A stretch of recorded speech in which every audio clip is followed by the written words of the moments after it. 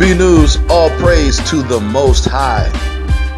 In the last video, we took a look at both the theory of evolution and the generations of man. First, according to science, and secondly, according to scripture. But which is true? The world of genetic science has developed a detailed process of evolution that follows humans supposedly for millions of years. However, the Old Testament details the generations of men beginning around 6,000 years ago. This contrasting information is at total odds with the scientific narrative. Yet, the Old Testament itself is the most recognized literature on earth. So, what gives?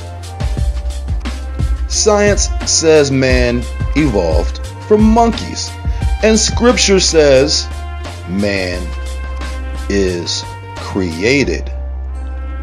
So, which is true?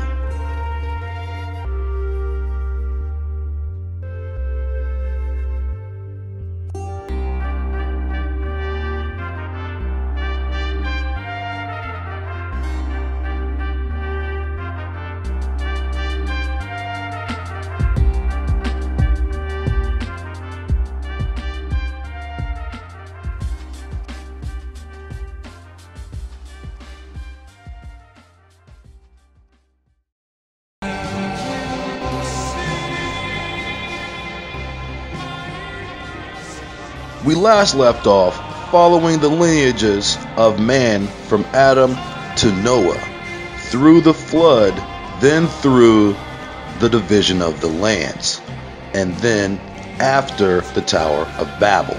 According to scripture, there were three lineages that populated the earth post flood. Those lineages Shem, Ham, and Japheth. So, how does evolution fit into this theory? Were these men monkeys? If so, how were they so capable of building such massive structures? Were these men Neanderthal? Were these men Denisovans? Or were they just After the division of the lands and the disbursement of Babel, the sons of Noah began to war with one another and take each other captive. The agreement between Shem, Ham, and Japheth meant that their generations of children were given a certain portion of earth to dwell in. And if any son of theirs were to break that oath, their lineages would be cursed and removed from the holy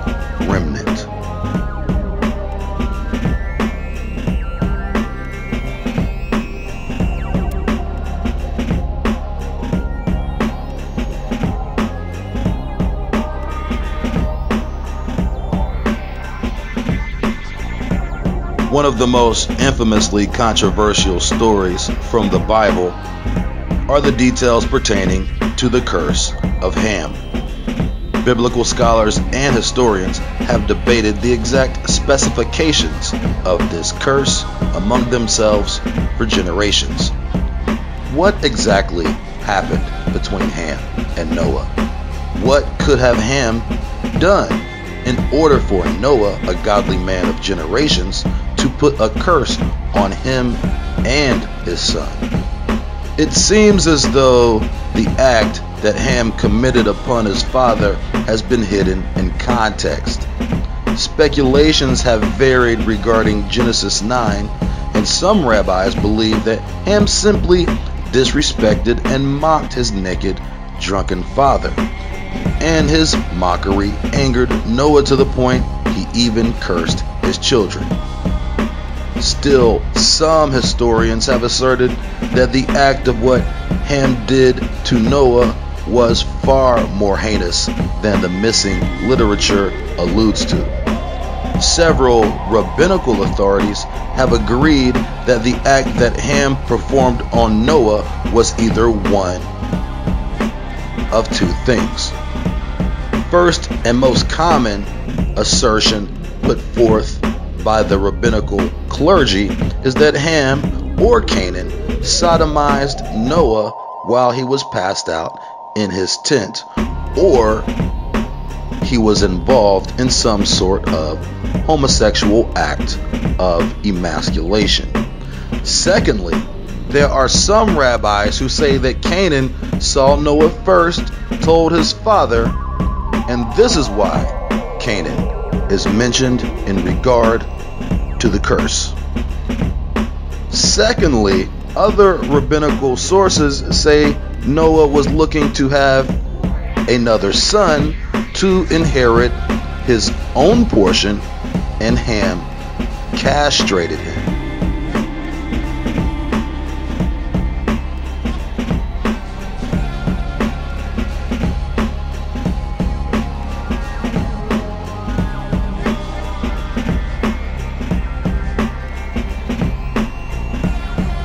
Either one of these extra biblical reasons would be a more fitting reason for Noah to curse Ham and Canaan.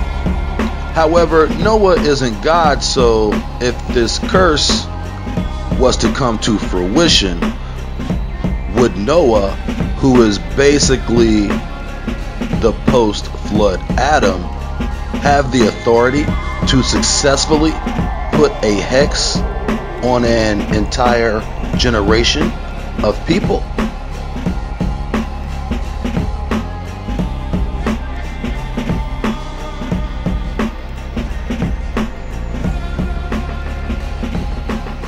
Or was this, in a way, a self fulfilling prophecy?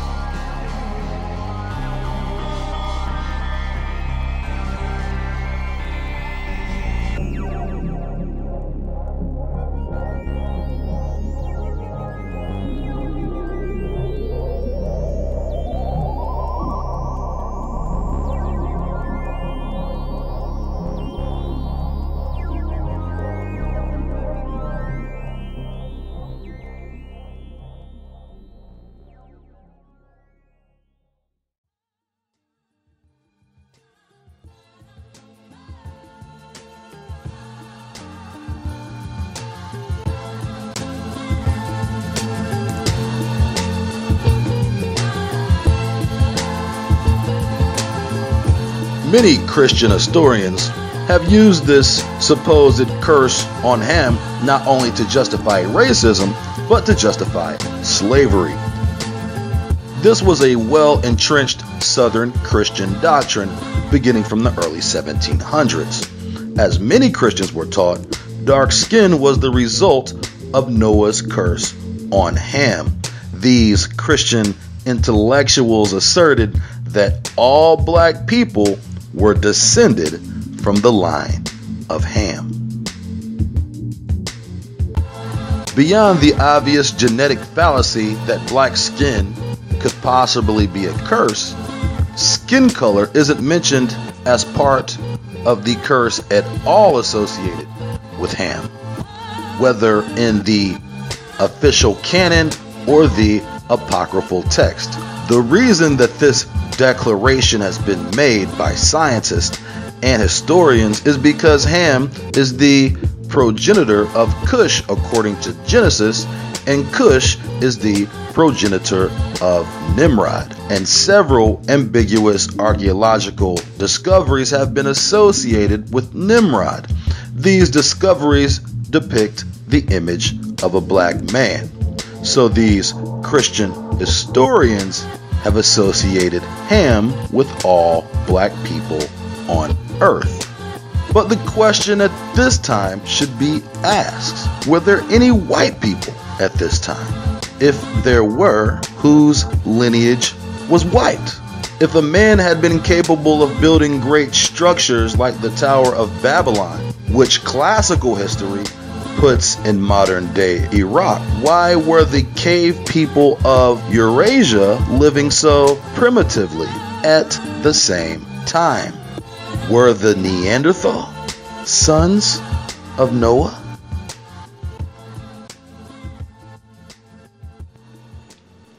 Concerning the curse of Ham. The book of Jubilees provides more insight into the character of Ham and his son Canaan as it relates to the curse. Canaan broke the oath made between Noah, Shem, Ham, and Japheth and invaded the lands of Shem and immediately starts to defile the land with abominations and idolatry. So even if the curse of Noah didn't stand, the oath had been broken and essentially Canaan cursed himself by committing this act of treason, thus becoming a self fulfilling prophecy. Of the three sons of Noah, one seed has quickly identified itself as an obvious lineage of transgression. But how do the acts of this lineage play a role on world history? The only way to truly understand this is to take a deeper look into the lineage of Ham.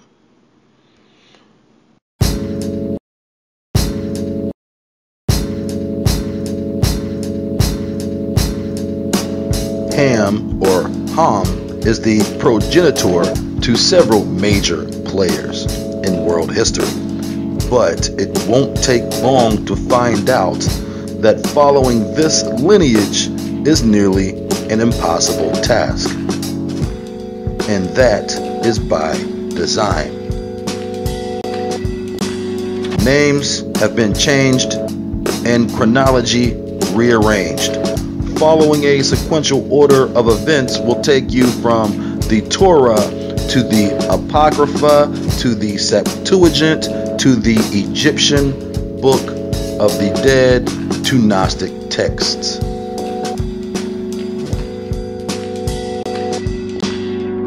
This is all by design. One thing is extremely apparent throughout the entirety of Scripture lineages have been hidden. And of course, the line of Ham is no exception. One thing should be noted representations from each person in any lineage may be characterized by a single person, but in most cases represents a group of people.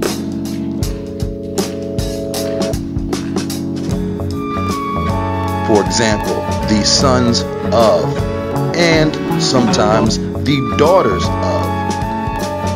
Ham had four sons, according to Genesis 10, Mitzrayim, Phut, Cush, and Canaan.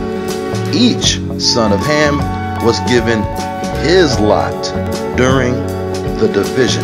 Drawn among the ones who trade good judgment for a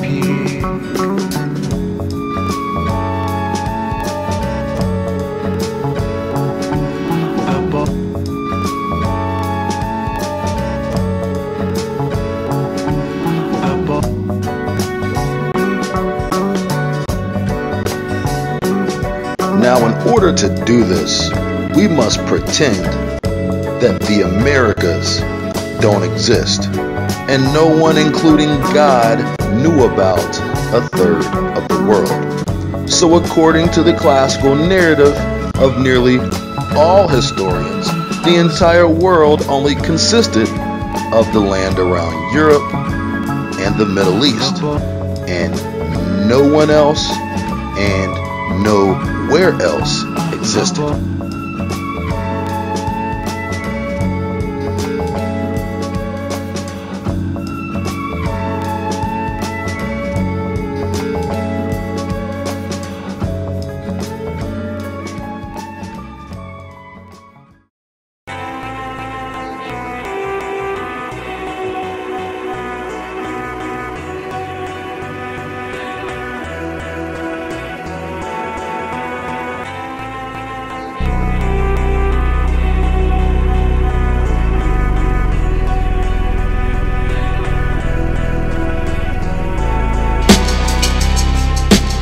The areas that were allotted to Ham and his sons were most of the area in northeast Africa and the area described as the Lower Nile Valley. This area covers the territory of modern day Egypt, Libya, Sudan, and Ethiopia. And the land of Canaan, a little further north, is modern day Palestine. And the land of Cush extended even over into the valley of the Tigris and Euphrates, separated by the supposed lands of Shem. Canaan was the first to break the oath and invaded the lands of Shem, took Shem's people captive, and started committing abominations on the land. Ham is the supposed progenitor to the Egyptians, the Babylonians, the Philistines, and the Canaanites. This lineage is often characterized as the line of evil. And this evil lineage is supposedly attributed to all black people on earth. But according to them, how big is earth?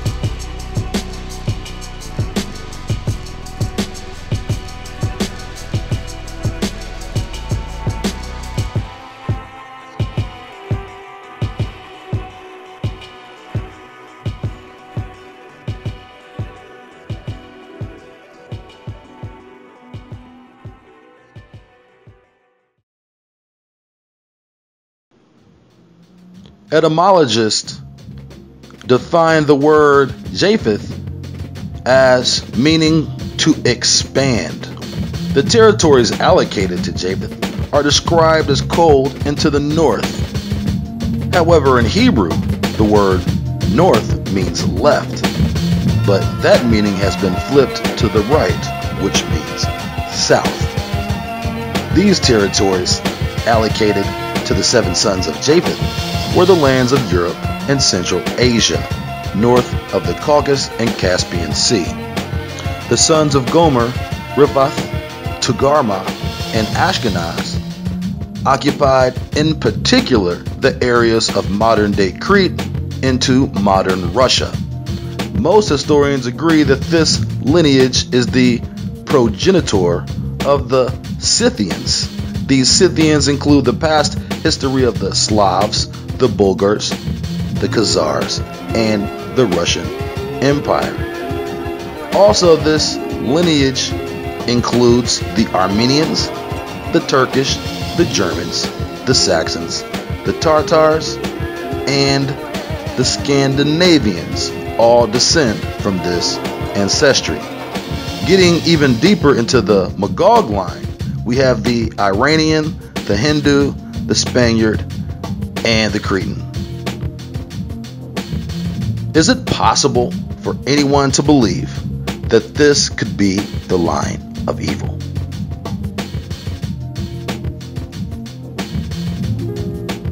Genesis 9 Japheth will dwell in the tents of Shem. Genesis 10:5 By these were the isles of the Gentiles divided in their lands, everyone after his tongue, after their families, in their nations. According to Genesis 10, these were the isles of the Gentiles and their divisions. Remember, still at this time, the land of the Americas, still has not been accounted for. But we have the generations of Japheth being mentioned immediately following the generations of Ham, and in between the mention of both the Isles of the Gentiles. Then at the end of chapter 10, it names the family of Shem and his sons and his divisions. At no point does it say that Shem's lands are on the Isles of the Gentiles. There is an underlying theme of geographic division that is deceptively missing from context. Most of this context is lost within the names of landmarks. Could this blessed lineage of Shem be included within the Isles of the Gentiles?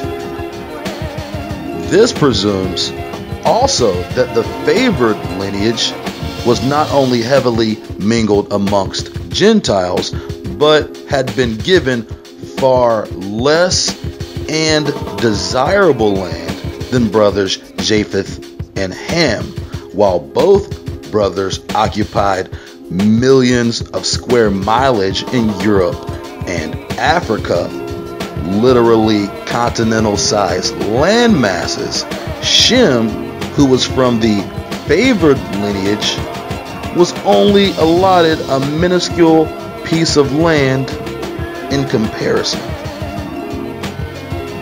In addition, this also presumes that the Isles of the Gentiles are in no way geographically divided from the line of Shem. This presupposed geographical theory is the key behind the overall deception. If the earth was divided into three parts, why are only two parts of world history being told?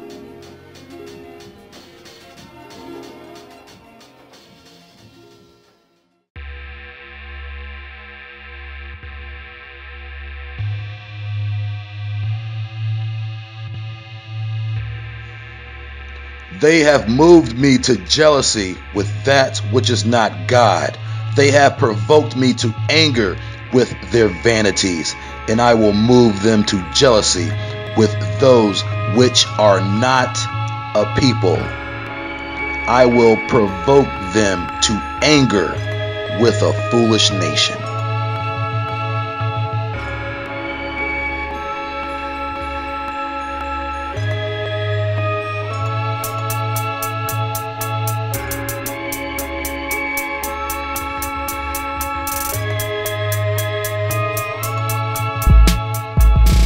In this passage, the quote, which are not a people, is a clear indication that there is a distinction of genetic difference between the lineage of Shem and the nation, which are not a people. And speaking of not people, what about the genetic codes carried by the three sons after the flood? Had their genes been corrupted? We already know bloodlines were corrupted by Cain and the following. But is there any indication within the Bible that the beast of the field had also been corrupted? Could there have been a possibility that the beast of the field is part of a genetic code of either three of the sons of Noah?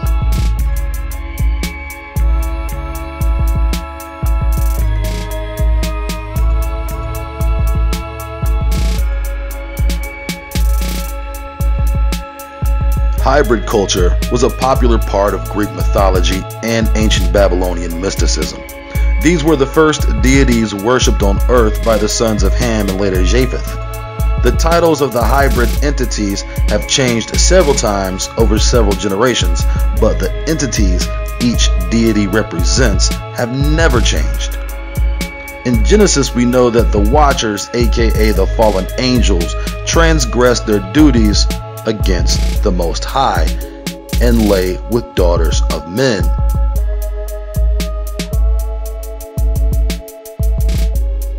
These daughters begat mighty children. These children were known as the Nephilim. we know that the Watchers and Seraphim are a particular class of angels.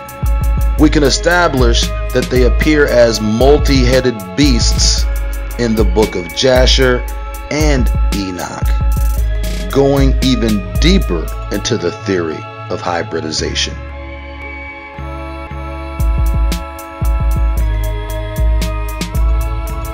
And their judges and rulers went to the daughters of men and took their wives by force from their husbands according to their choice. And the sons of men in those days took from the cattle of the earth, the beasts of the field, and the fowls of the air, and taught the mixture of animals of one species with the other, therewith to provoke the Lord. And God saw the whole earth, and it was corrupt, for all flesh had corrupted its ways upon earth, all men and all animals. And the Lord said, I will blot out man that I created from the face of the earth, yea, from man to the birds of the air, together with the cattle and the beasts that are in the field, for I repent that I made. And all the men who walked in the ways of the Lord died in those days, before the Lord brought the evil upon man, which he had declared.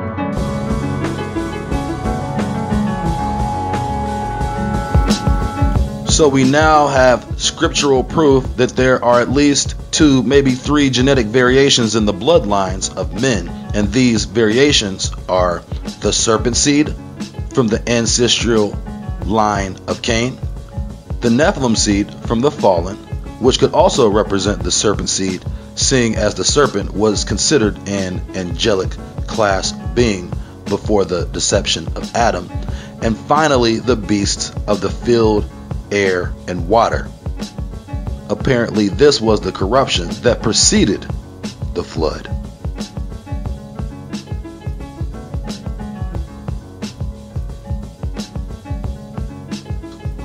The giants turned against them and devoured mankind, and they began to sin against the birds and beasts and reptiles and fish, and to devour one another's flesh and drink the blood. End quote. Not only had the seed been corrupted, but this passage alludes to the fact that the giants were the ones who began the corruption of the beast, birds, reptiles, and fish, which initiates an early connection between the bloodline of the Nephilim and the earthly beasts of the field. Since the beginning of Greek and Babylonian civilization, there has been a documented major fascination with hybridization. The first deities to emerge out of Sumer and the Akkadian histories were indeed zoomorphic. Tremendously massive, elaborate statues of half men, half beasts were erected to worship and make sacrifices to.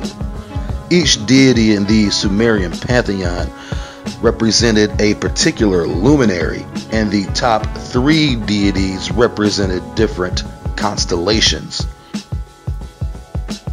An individual god is associated with each luminary. The luminary is characterized by a deity, an associated color, and metal. For example, the patron deity of Babylon, Marduk, is associated with the planet Jupiter, the color white, and the metal tin. These characteristics of Sumerian gods are eerily familiar to the line of the fallen through their association with luminaries or metals. For we know it was the fallen who taught men how to fashion metal into weapons and make war. And the book of Enoch clearly makes a point to connect the imprisonment of the fallen with the wandering suspension of the luminaries.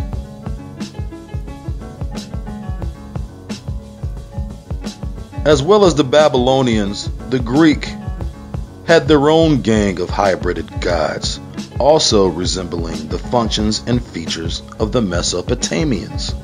If we just take the understood history of the Greek people through their own religious mythology, they will tell you themselves without equivocation that they are indeed descended from gods and titans.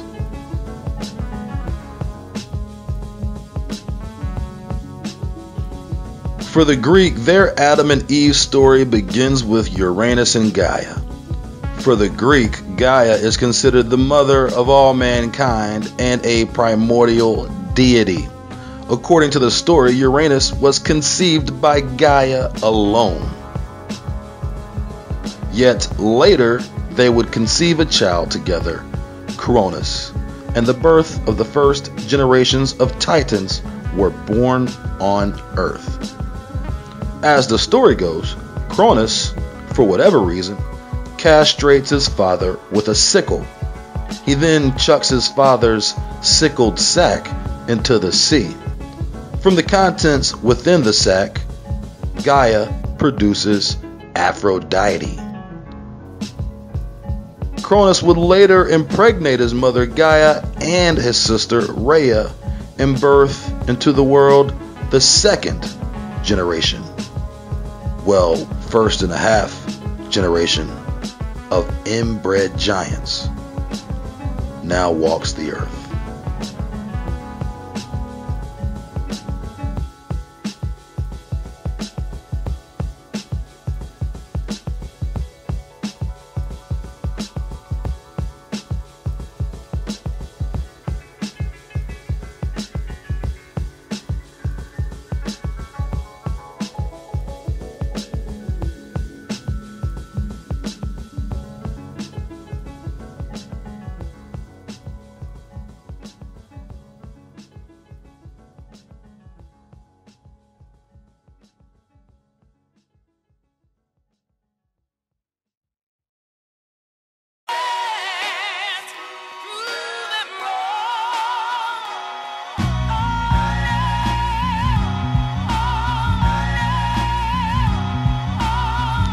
Not very long after the flood, the bloodlines of Japheth have clear indications of Nephilim shenanigans and propensity for evil. Did I mention Cronus?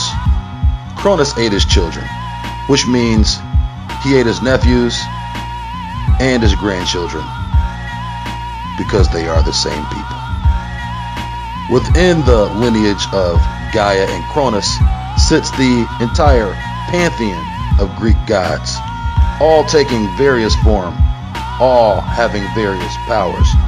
Gaia's children were monsters, a cyclops, a multi-headed beast with the strength of 10 titans. Gaia also had extremely fair daughters, whose purposes were to pleasure and torment men.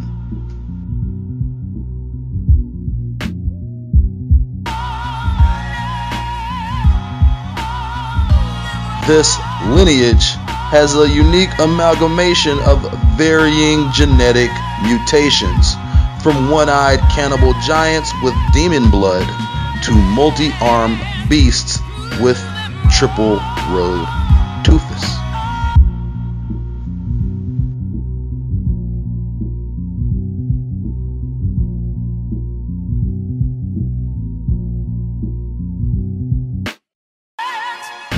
questions and stories surrounding Gaia are fanatical and mythological, or, in other words, scientific. A woman who was part giant demon has a child with another giant, and they go on to produce a lineage of world conquering demon babies. With such impeccably tight bloodlines, a mad king must be born every generation, if not a total alien.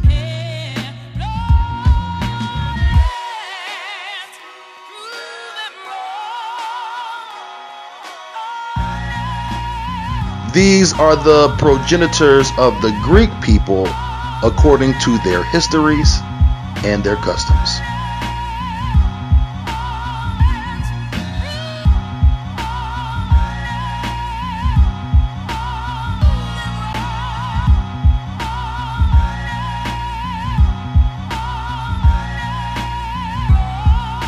This lineage echoes of Prometheus, and Gaia is the womb in which to genetically perfect a beast.